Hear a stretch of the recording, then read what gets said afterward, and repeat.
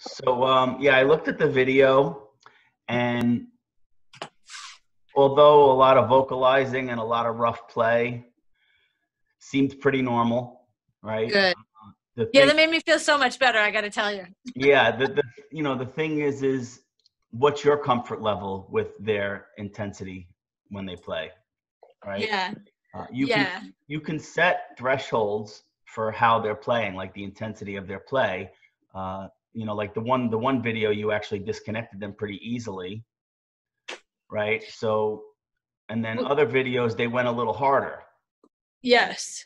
So, and I think that's part part of what I wanted to explain. And I I think the videos did a pretty good job of showing their interaction with each other. That's how they play.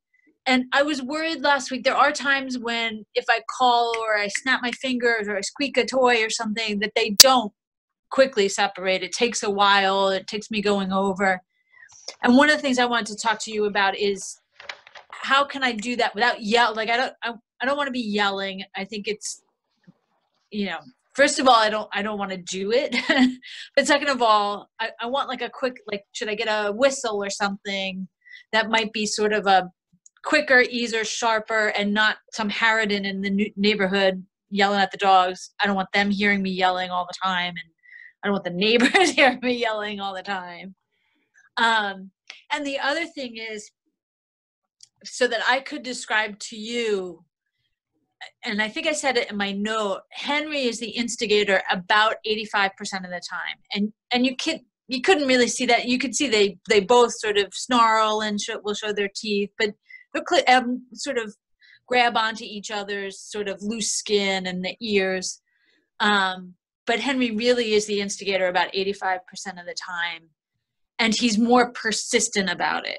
So he'll like jump on him, break, jump on him, break. He'll go after the toy. For example, at the lake, he'll go. He'll be standing there waiting for Calvin to bring up the toy, but he'll drop the toy immediately and jump on Calvin. It's like it's boom, boom, and it's there's something about their interaction that makes that so. Like I think that Henry is younger. I think younger, less trained, maybe more. um uh, more insecure or something. I'm not. I'm not really sure. Although he, you can tell he's he's almost always on top when they're when they're fighting. Also, he like sort of jumps on top and.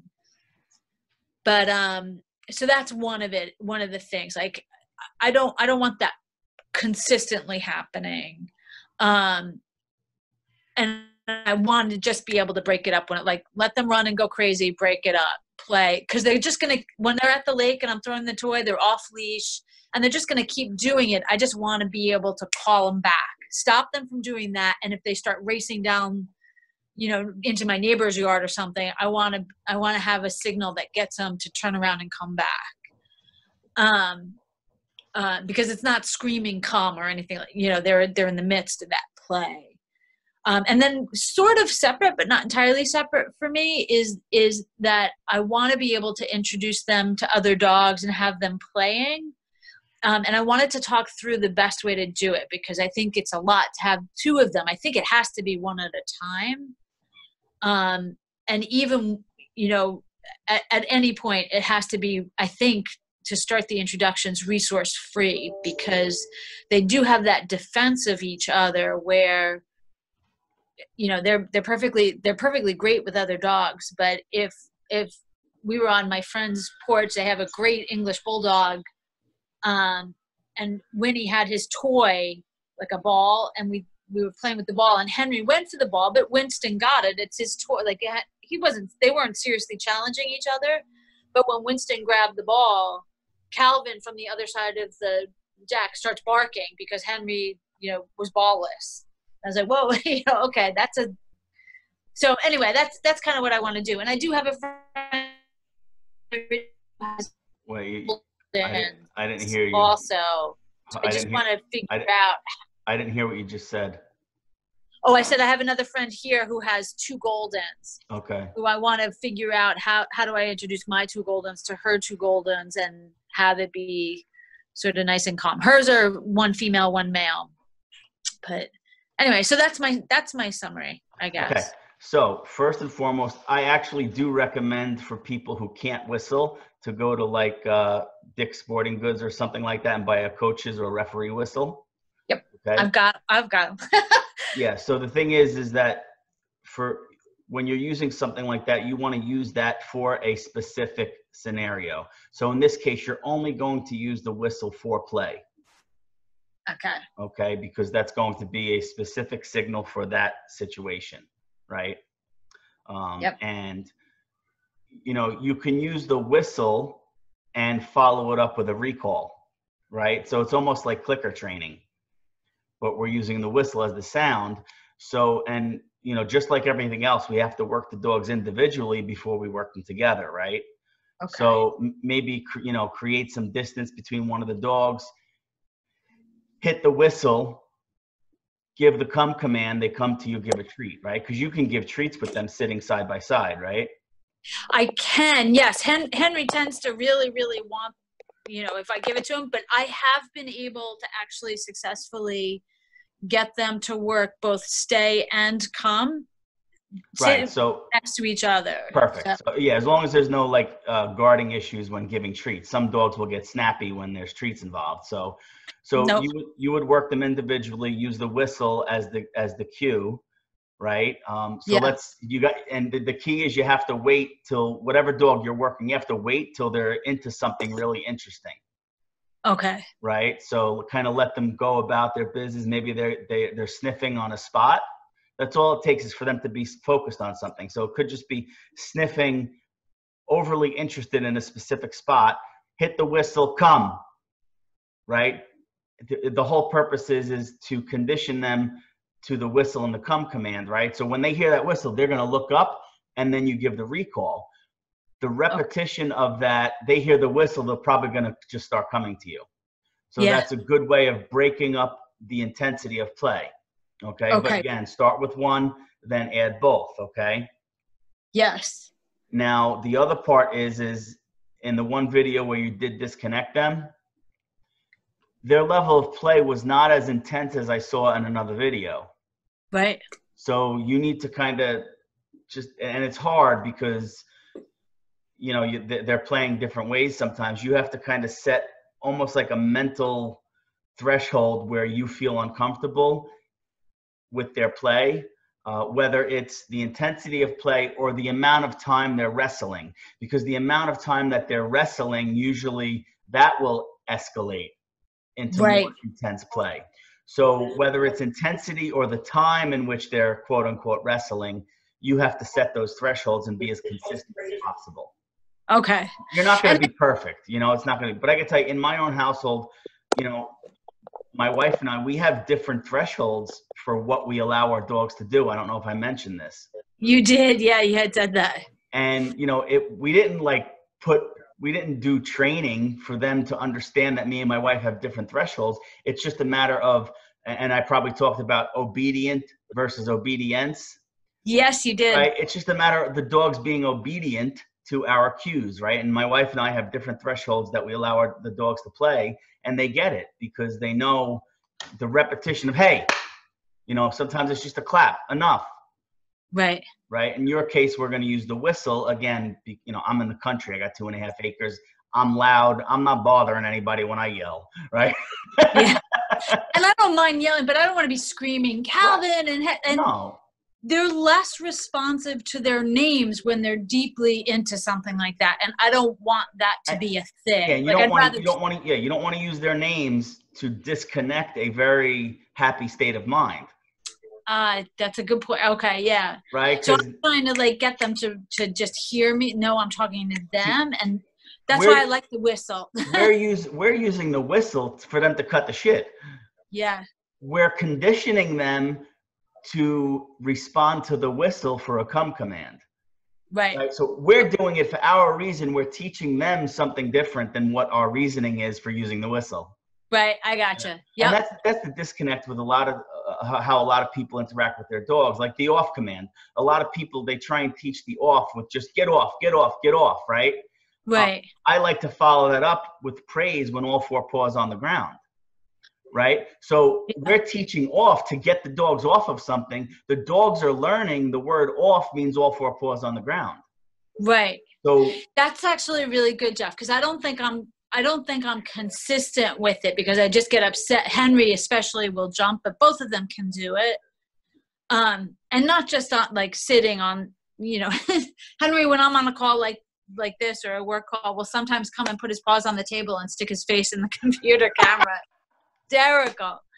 So I have a hard time like like getting you know it makes me laugh that he does it right like, yeah, and everybody thinks it's cute because he's adorable right, yeah, um, but it's really the jumping on people that I don't like, and that like, you know, I know so many people. The woman who has the two golden, she's like, "Oh no, I don't mind." I'm like, "Yeah, I understand, and and I don't mind when he jumps up and gives me a hug, but I want him down. Like I want him down because he's gonna jump on my 90 year old mother, and uh, like that I can't have." Right? yeah. And right, right now you're you're still setting rules for them. So Yes. that jumping has to be black and white. There can't be any Yeah. gray areas right now. Yeah. right? And they're okay. still young. They're what, two years old Two. Yeah, that's ish, right? So, you know, they're Yeah. still pretty young. So you want to Yeah. make sure you're setting consistent rules right now for the rest of their life, right? Yes. So, uh, you know, and that's, and you know, it's hard when people, you know, it happens all the time. Oh, it's okay. It's, no, it's not okay for me, my dog, for my dogs to jump on you. I'm sorry. Yeah. And most people, they get that. Some people, they'll roll their eyes, but so what? They're not your dogs. Right. You know, and that's the one thing like i want to be able to set and M, the woman with the two dogs i thought you know she should understand because she goes through training like she takes her dogs for training to Right. a facility and all like I'm like you know they're new dogs to me yes i know they're goldens and they're cute and they look older they look like your dogs and stuff like that but anyway that's that's helpful i'm i'm gonna i'm Yeah. gonna keep doing that Right. okay So consistent thresholds. Okay. Um, introducing to other dogs. yes So uh, just like any, and now obviously your dogs, they're they're a known commodity. Commodity. We know they're friendly with other dogs, so that's Yeah. really helpful. But nevertheless, we still start intros the same as we would if we were unsure about their capacity to be friends with strange dogs, and that would be walks. Okay. Um, ah, and I'll tell you why, right? It, if we have a dog with an unknown history or we don't know how they are with other dogs, we're going to be cautious because we don't want anything bad to happen, right? right When we have known commodities that dogs that are friendly, the same rule applies because we don't want the initial in, inter, introduction and interaction, although friendly, to be super intense right right? We want to start their relationship stable and then allow it to grow from there, right? This way, you know, if they don't, if you see them, if they, if they're introduced and the first time they, it's like a melee and granted they're having a blast and everything's great, but it's super intense. You're going to be walking down the street. You're going to have, you know, 180 pounds of, of friggin' dog yanking you down the street because they're excited to see their friends yeah we need to slow the mind down and get them walking together in the same direction. And after they start settling into the walk, then maybe let them interact a little. That's really how the first intro should go, even for friendly dogs. Excellent. Okay. Should I do it one at a time or is it The rule of thumb is always when you can, one at a time, because, you know, especially because you're still honing in on your skills of handling, right? Yeah, absolutely. so that you know from a management standpoint it would it would be better now if you're out with both of them and you you have an opportunity you know take advantage of it Right.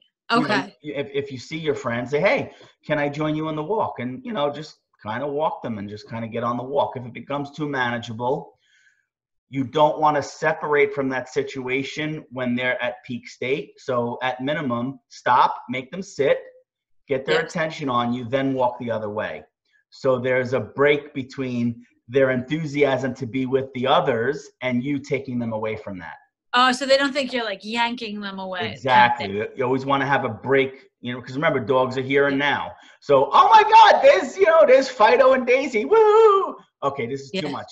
Guys, sit. Good boys. Okay, bye. And just go Yeah. off with it. You know what I mean? That's really good because I, I mean, and and I mean, it's one of those things you do unwittingly, and I'm not frantic about it, so they don't think Yeah. I'm reacting in fear or anything like that. And they are very good, Jeff, I mean, I, I was actually surprised at how how well I've been able to walk them together. You know, they have some distinctions, and we work on it. And Henry is a little more pulley than Calvin, and all that stuff. But um, being at the lake has kind of reinforced us walking together, simply because you know up there it's much less crowded than down here. There are no sidewalks, there's less traffic, so we've been walking a lot. I only walk them together up there because it, Yeah, it's a lot that's easier to do. That's a great way to do it. Lower stimulation, lower stimul, you know, it, lower triggers. Yeah, You have more but that led to doing it up there has led to doing it here because I mean once you know once you start practice practicing walking together they're much more comfortable now walking together so we're taking longer walks now um, but doing them together Good. Yeah, it's, Um, it's, just, like- it's just like the basics, right? We had to start inside with no distractions, and then Yeah. outside with with distractions. So you, the lake house is lower distraction environment Yeah. to prepare them for a higher distraction environment. yeah so it's been it's been really good okay Okay, Okay. so that's the intro.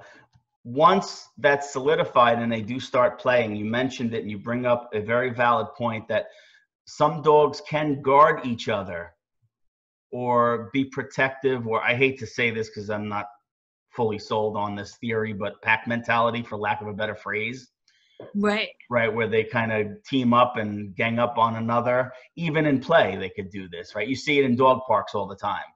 Uh, right people who frequent the dog parks, those dogs that know each other, they tend to gang up on the newcomer, right? Yeah. And it's not bad Yeah, most of the time. park it's- What's that? i'm not really a dog park per- person Me neither. I go there to watch because I love watching dogs interact for my own benefit. oh that's um, really cool Yeah, I um I, I used to do it a lot in Jersey. I think they thought I was like a doggy pedophile or something because I wouldn't have a dog and I'd just be staring at the dogs. there was something I, I hate to even say it because right now it would be suspicious. My friend who's a, my my friend, my niece is a dog walker in Hoboken, and there's some guy who's going into the dog park in Hoboken and opening the gate, like sitting there without a dog, sitting there and then leaving and leaving the gate open. So Oh. dogs are running out the gate. It's just people are there's Yeah. something wrong with people, man. Yeah, that's, that's So- not good. Yeah. No. Yeah. So yeah, so on- once they're once they're interacting, um, and you're right, no resources initially. Just let them be dogs. They don't need balls and tugs and frisbees. They don't need it. Right. Dogs love to play with each other, right? I mean, you know, it's it's how they do it. I mean, there's there's no balls and and frisbees in the wild, and who knows? Maybe maybe some some social you know canines in the wild they might play with sticks and stuff, which is fine. But initially, no resources, you know, and then you know if if you guys feel like you need to, you can add a ball or something at some point. But if the dogs are playing and having fun, they don't need anything else. Just let them Uh, play and have fun. Right? We're, so preoccupied with giving them, giving because we love them, right? I mean, we love them. I mean, so we want to give, give, give. Well, letting them play and have a blast. That's, I mean, that's giving. Yeah. That's allowing them to to engage in natural social behavior. Oh my god. All right, we're gonna go outside for a second because these guys are. They like they like to dig up. Hang on. It came out, and you can't see, but they were digging a hole in my garden. See these cute boys. Let's go. Come on, come out here. Um. So, but as part of that, like the walking part, should I seek to introduce them one at a time? Yeah. Even to, uh, yeah. If, if if you know you're going to set up an int- introduction, yes. then one at a time, right? If you're out and about and you have both of them, like we talked about, manage it the best way you can. The same Um, thing. yeah, Okay. but it, ideally, you're setting up introductions one on one because I mean, obviously, for handling purposes, uh, also for observation purposes, it's a lot easier to observe. Just like with walking, remember, I said you, you can't you can't observe two dogs on the walk when you're trying to leash train, right? You got to you can only observe one at a time. So Right. kind of the same concept because you're it, it's about gathering information too. It's not just oh they're friendly, but how friendly, right? Because too friendly too soon, you know that's not necessarily a good thing either because then you can have over exuberance and intense play from the get go. And like I said, they're establishing their relationship intensely. And we don't want that. We Yeah. want to establish relationship with more balance.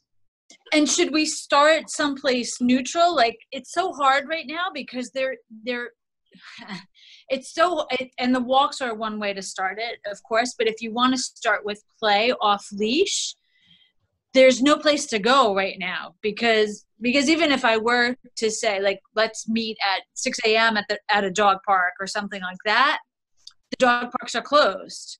Everything is closed right now. So really, the only fenced-in place to go is somebody's backyard. Yeah. So the thing is, you know, when when when we're doing dog intros, the rule of thumb right out of the book is neutral territory. Neutral territory means a place that none of the dogs have ever been, which is impossible for the most part because, you know. But again, here's the thing: if you have a friendly dog, the dog is going to be friendly everywhere. Right. So the rule doesn't necessarily apply. Okay. Now, if your friend has friendly dogs but they're territorial, you can't use their backyard. That's Right. not the right place. But if they're friendly dogs and they have a history of being friendly with but with dogs coming to their house and you have friendly dogs, you're probably going to be okay, okay. right? But again, the, you start with a walk. So you're not just walking in the house and letting two gigantic dogs go into the backyard in a melee, right? You're going on a controlled walk, letting them get to know each other. Maybe they sniff some butts, right? Uh, and then they're going into the property together. And is there like is it should should we walk them like five times before we introduce them, or is one walk where they are successfully walking next to each other and you know sniff each other and and we walk? Some Is dogs, that is that some dogs need one walk. Some dogs need 21 walks. Okay. There's, Again, Okay. there, there's no exact formula. It's all about trust what you're seeing out of the dogs. okay. right? And remember, you know, I deal a lot with problem dogs, right? You know, I know. You know, so a lot of them are socially deficient. They weren't socialized. So we're taking like extreme precaution when introducing them to other animals. Yes. Um, my personal pets, I know what dogs they're going to like and what dogs they're not going to like. I don't have to worry. Um, if Yeah. I see an assertive male, I'm not introducing Deuce to that dog. It's not going to go well. And I'm not Right. going to put their dog or my dog in that position. I have nothing to prove. I'm a dog trainer, right? But I'm, I'm not going to be all bravo and bravado and ego driven to show how great my dog is. I'm not going to put any dog in that type of position. Uh, Right. The same thing with Sable. She gets along with a lot of dogs, but she doesn't have a sex issue. She has an, a, a- an anxiety issue. So regardless of the other dog's sex, if they're edgy, she ain't gonna jive. But she'll Yeah. get along with males and females alike. Whereas Deuce is more male focused, Yeah. so he's more same sex conflict type of dog. Yeah. So you Is know, it really hard for you? I mean, I think this is really interesting. Is it hard for you to have the dogs there, train like that you are training? no, Like I know you keep a no, lot. because I have so many guinea pigs here. right? Sometimes I have passive dogs, sometimes I have aggressive dogs. So it gives me an opportunity to expose these dogs to a lot of different situations. Uh, because Yeah. not all dogs are going to get along, but the dogs I'm working, at minimum, they have to coexist peacefully in the presence of other dogs. So I don't need to have them off leash to make sure that they're going to be good companion animals for somebody. Right. Whereas some I can, you know. So Yeah.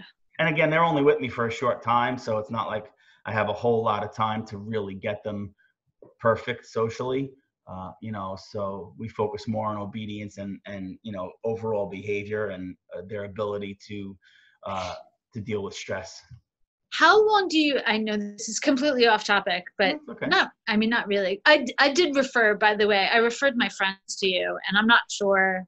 yeah I don't. they, he contacted me he needs more hands-on i gave him a, uh, an excellent trainer referral up in jersey Okay, you did. You you you gave them the you gave them the person in Englewood, right? no that where you- sussex county Oh, you did give him a Sussex. Okay. All right, they're frustrating me so much, but yes, they it, he they're- definitely they're in sussex county yes, yeah. yeah my, my best friend sarah she's an amazing dog trainer so Oh, good. I hope they're. I hope they're. yeah It's it's a it's a persistent problem. They're having they're having real issues. Yeah, as soon as we talked to each other, we played phone tag a little. As soon as we talked to each other, we both knew that he needed hands-on, a, vir- Yeah. a video consult. I mean, it, it might be helpful, but he, they need help. Yeah, yeah, uh, yeah, yeah. Because I'm really worried, and I'm worried. I mean, this is totally a personal thing, but I'm worried that they don't pursue the training, and it only is going to get worse because it just keeps Yeah. happening, and Yeah. it's, it's not good. so. Yeah. So. And then poor, the poor little guy. I mean, I. Anyway, I you know that's a human that's a human thing, right? Yeah. Like, I mean, I recognize that even with my cute galoofing golden retrievers, that it's my training that's more important you know that that makes that training possible because Yeah. you're training me Yeah. Right. right. Yeah. which is what i need but and i think you're you're training your dogs for what you need from them.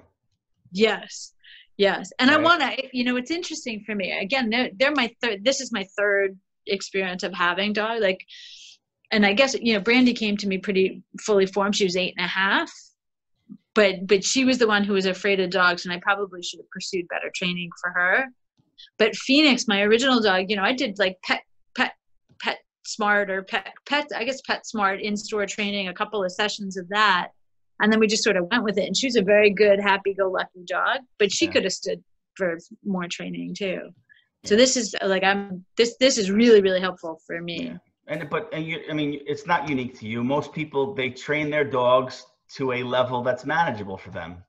yeah I mean, Yes. that's just the reality of it. There's nothing wrong with that. I mean, you know, yeah I mean, but but when you hit issues later on and you think i had i had just such a great my parents got me and i can never i i can't remember what it was called and i think i gave it to my sister and it was lost but i had the greatest book that gave like sort of basic information about the life cycle of a dog and what you should be doing and how you should be training and what you you know it, the different points throughout a dog's life when that might come back and you know you might see you know once you train a dog it it doesn't mean that they're going to be perfect and wonderful forever. There may come points stressor points or changes in their life or their hormones or whatever that you might have to.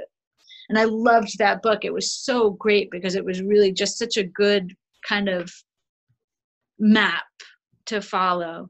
Um, and i'm so regretful that i can't find it because because it was really helpful just to have it and look Right. at it Yeah, and I mean the the thing with especially life stage development, uh, I think the biggest mistake people make is they socialize their puppies yeah and then they stop, right? oh interesting Because they, you know, the dog hits a year, year and a half old, and they stop socializing the dog. The dog's still a puppy. right Socialization really should continue the first five years of a dog's life because dogs they mature anywhere from two to five years of age, depending on the individual uh, and the environment. So like right now you have young adults that are still maturing. Like if Yeah. if you focused on just one thing right now, it would be socialization because you could teach sit any time in a dog's life. You can't Right. you can't recapture youth and maturation. right So if you had to like focus like super focused on one thing, it's social. That's my biggest thing is socialization. Obviously exercise too. Socialization is number one. And and people think, oh yeah, I socialized the heck out of my dog. We took him to the park. We took him to uh, the pet store.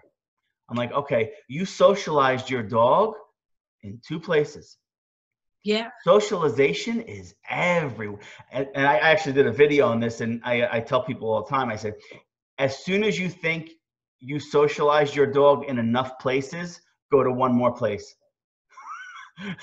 That's Right. really interesting yeah. So but you know you, you by socialization you mean not just do- not just other dogs Just but also people and situations exposure. exposure right? Uh, you know here i'm limited because i'm in north carolina. I don't get i can't duplicate the same socialization that i could when i was up in jersey just because Yeah. we don't have the population. But you know we go to we go near the dog park i don't go in with other people's dogs for you know liability reasons but you know i do that i do parks there's a gas station down the road where there's a lot of traffic it's a big like you know rv truck type of gas station so yes there's a lot of activity. We go to the local pet store, which is a small pet store. There's another pet store which is bigger. It's called Pet Sense. It's kind of like Petco. So we go there. We go to Home Depot. I go to Walmart. I, you know, I try to do as as many different environments because socialization can just be visual. It doesn't necessarily have to be, oh, hello there, right? right That's so interesting. You said say about the traffic. Like these guys, as and as you know, they were found in rural Georgia, so they so they definitely even walking here in Ridgewood, which again you you do know New Jersey. Yeah. It's a little easy here, yeah. but they would start. You know, Mike. I live on a tiny little court. It's six houses, and there's a bigger street next to me. It's all 25 miles an hour around here, but people drive like lunatics, and there's a ton of traffic but during the last couple of months it's been relatively quiet but i would go down to the road there's a, a, sort of a main thoroughfare at the end of the block and we would walk that's part of where we would walk and they would they would like startle every time walking down that street both of them will do mm-hmm. it. It doesn't matter. Usually the dog that's on the street side is the most sort of nervous. Yeah. But i noticed yesterday that they've really calmed down from that. Like they've really started to get used to the try they still kind of look at like if a big truck or a landscaping truck or you know or an ambulance comes by or something i'm close to the hospital or fire truck or something comes by but they've really stopped like you know uh, you know they ha- sort of hop and look over their shoulders when they hear a car coming or something they've really calmed down on that which yeah, is good psychologically that's called habituation so they're they're desensitized now to the environment yeah. So much like when, when I'm working with expecting parents, I tell them start playing the sound of babies crying when you're like uh, months, four months pregnant. Don't do anything. Just let it play and let it be ambient noise in the background for the dogs to just get used to so they don't overreact when a baby does actually cry. Right. Yeah. So that's really that, that's kind of you know you're the exposure and the repetition of of that exposure is helping them settle into the environment. Yeah, Good. Okay. Well, I'll increase that because I mean, I've done I've done a lot of stuff and and they see people all the time. People love that. I have never gotten so many comments about like and I've had golden retrievers for a long time, but the two of them together, everybody's like, "Woo!" It's yeah. like I mean, I haven't even met them in person, but I could almost feel their personalities through the They're screen, really a hoot. You know? They really are a hoot, but they're very sweet and they're very good. Like if I stop and talk to people on the street, they generally sit next to me and if i'm talking for a long time they'll lie down and they're, they're like I, I, they're the calmest dogs and it's really nice i know that's funny after show after you seeing the video of them playing together but they really are they're sort of like that perfect combination of young and playful but also when i'm talking and i and i don't know if they came that way or like i feel like they've always done it or we were doing it one at a time but um but it's really great to be able to rely on the fact that I can stop and talk to somebody and they're just going to sit next to me. Yeah, nice. Yeah, they're just very, very, very calm. But I'll be more thoughtful about walking them past stores and things like that. There, you know, there haven't been that many people around, and but the stores are starting to reopen here now. They just lifted the stay-at-home order, and um, so we'll have more people out and about. Maybe I'll you know they don't like the heat so much but maybe i'll make more of an effort to like walk downtown or something where they're walking through pavement and sort of town as opposed to because otherwise it's basically all residential here and all country up at the lake right. you know yeah, yeah. that's sort of the division. Yeah. but i'll be more thoughtful about that. I cannot wait to bring them to see my parents because my mother is going to love them. But that's another environment where it'll be really good for them to be. It's a retirement community. Oh nice. You know like an apartment complex so we'll be going inside and right. you know so that that'll that'll be good. My mother will just die. But um so i'll be i'll be more thoughtful about that part jeff i oh. did I, like i wasn't really thinking about that yeah. especially now because you know they're in that two to three age now where they're going to start maturing so increased yeah. socialization is important right now okay I'll, I'll i'll i i have lots of things that i can do to keep that and especially now that i'm walking them together you know yeah. walking them separately i was walking so much but it's they were shorter consuming. walks yeah. yeah it is time so now that i'm walking them together yeah. we can take longer walks in different places and that that actually is really helpful for right. for me to do with them and that's that's your ultimate goal anyways to go everywhere with them so exactly exactly It's exactly right. I mean, yeah. it, it, it's exactly right. And the only thing is the heat and humidity. Yeah. I, I will at, at, at some points. It's actually pretty funny. Henry will be pulling a little bit ahead, and Calvin will be pulling a little bit behind. Calvin's like, "Can we just go home and lie down?" Yeah. Okay. And Henry's like, "Look, a squirrel! Come on, let's go." Yeah. Nice. So I've been using treats also on the, you know, I've, I've kind of like phased out for the most part the bathroom issues. We're in good shape. Good. Um, they're, they've been very good. So I, I sometimes will shoot them a little treat, each of them, you know, just as entertainment when they poop, but you know, we're, we're otherwise doing pretty well with that. But I do carry little, little training treats when we walk also. Good. So every once in a while I'll give them a treat sort of at my thigh, you know, like, so their faces are at my thigh just to try and keep them reoriented. And I've been using also, this works very well with Henry, although it sometimes takes me doing it 10 or 15 times you know walk a few paces make him sit and wait you know and i have him also it, it's funny because he because he's a little bit more of a puller on the walk i have him a little bit better conditioned to when i say sit you know wait and sit that he can't move until i release with okay. Hen- henry is very good at that. Calvin is so much better generally at just wait and sit and being calm and sort of standing. You know, if I stop, he stops. He walks slower. He's not pulling as much. So I don't make him wait so much for the okay release. so it's a little. I'm trying to be thoughtful about that, like making sure. That's okay. They're they're gonna learn despite you. God, because I'm capable of overthinking everything. I'm like, okay.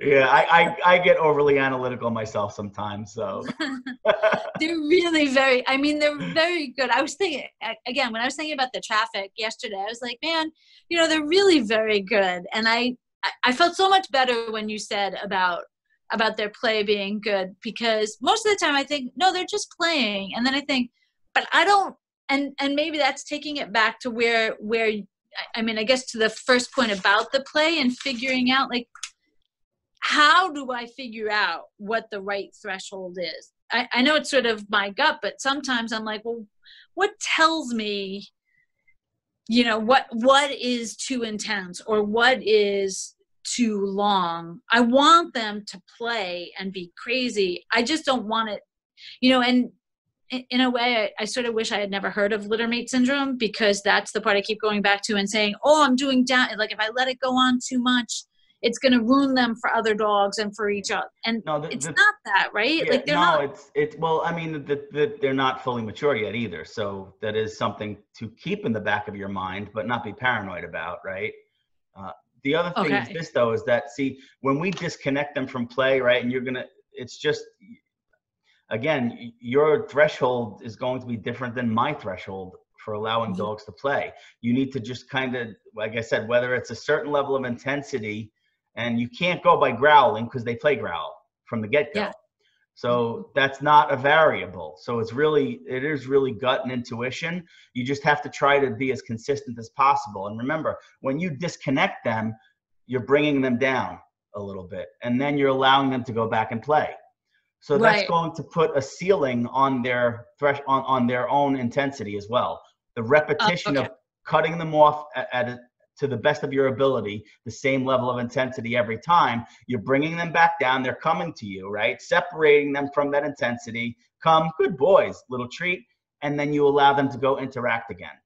Yeah. So that's you're helping them with decision making until such time as they can make that decision on their own.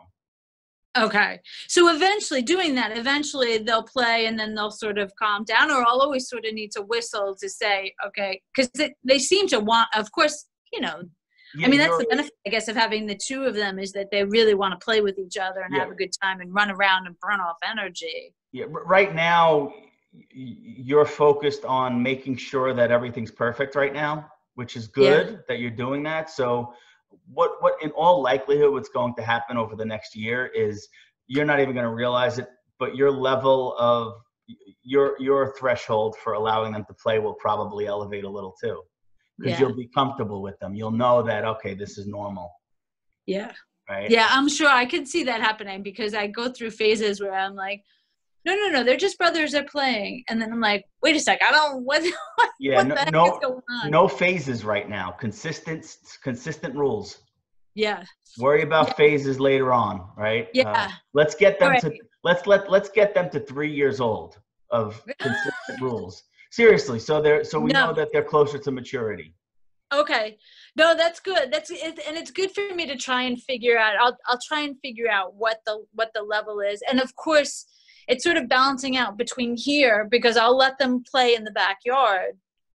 Um, um, and I have a like I have a little pla- I have one of those little plastic wading pools Oh, in cool. the backyard. Oh my god, they are a hoot running in, chasing, and they'll run around and then they'll like, jump in the pool. It's very sort of silly, but but the different environment between here and up at the lake, although they sort of do the same thing, it's just you know, at the lake it just involves it, involves a you know Cal- Calvin principally jumping in the lake, although Henry now is starting to to, to go in as well.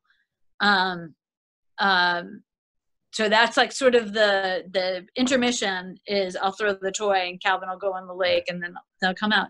But even after that, they don't always go running up into the yard and roll around and and fight. Some And- sometimes. you may also see different different intensity at the lake house versus your house.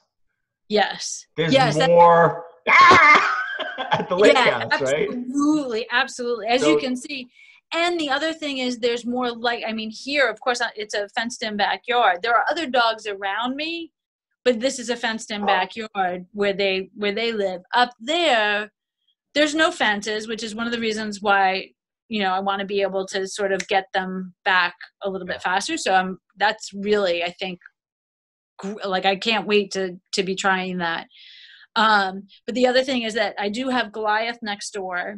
Uh, you know, they they live next door to me, and across the street is another bulldog who will come down and be at the dock. So so there's other dogs around as well. So I- you know it's a totally different environment. Everything is freer at the lake. Yeah. Our lives are free. You know, the crates are different. So I don't I don't crate them in quite the same way up there either because because they're enclosed crate. You know, they're the enclosed canvas crates, and it's hot and Yeah. And that's Uh, fine. Different environment, different rules. Nothing wrong with yeah it. yeah um so it's a it, it the whole the whole it's a much smaller house like it everything about it but but i also feel better because they are like the bathroom issues have definitely Right. dissipated which is which is great but i'm you know i'm taking them out um okay that's that's great i think so that's a lot for me to work on but but i think i can really i think i can really do it you got this. Look, I mean, look how far you've come already in such a short time. i'm really amazed You I- really have. You put the work in and you're seeing the results. these guys i mean they're really great dogs they are Yeah. really great great great great great dogs. It's fun they're really fun. So you know I, I and i'm you know again it's nice to be home and be able to to do it and work on it and focus on it because it's pretty it's pretty easy. I don't know if i could do this much focus on it if i wasn't at home. Right. it's really interesting to me how how you know the state of the universe right now has changed you know what what's possible and what's impossible. Not impossible but would have been a lot harder Yeah. if i had to go to the office and you know so this has really been a great experience. Awesome. so awesome. Okay